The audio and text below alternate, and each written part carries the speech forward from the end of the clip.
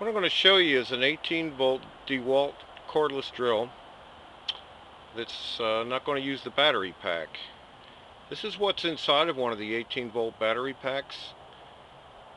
This is the regular battery pack and this is one I've modified for use with any external 12 volt uh, power supply negative and positive of course and what we do is right now it's not hooked up see it doesn't work so I'm going to hook it up to the positive post.